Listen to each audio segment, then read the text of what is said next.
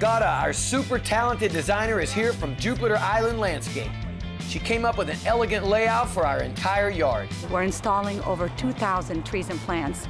With this beautiful pool design that we have here, we're going to be able to turn this into a beautiful backyard oasis.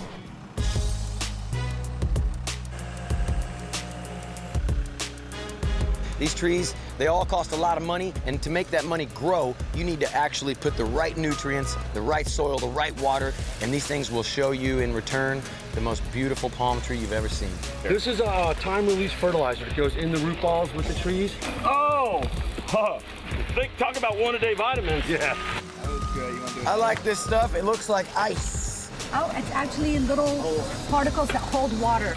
Being that Florida is often on a drought, we really need to be conscientious of how much water we use.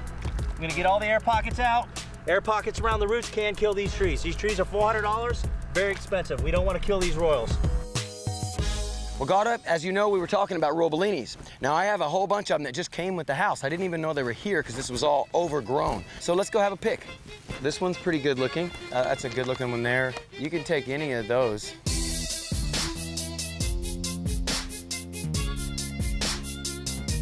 Tell me, uh, tell me what some of these things are.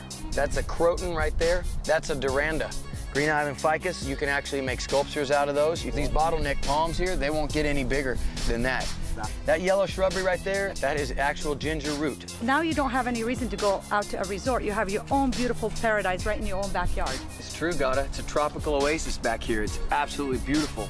Thank you. Thank you, Rob. This giant backyard had been rotting away for three years. It looked bombed out.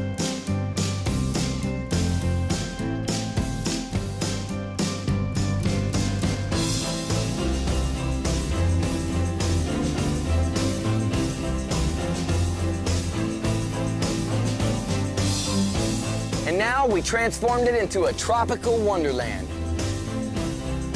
We accented the jewel of our backyard, the swimming pool.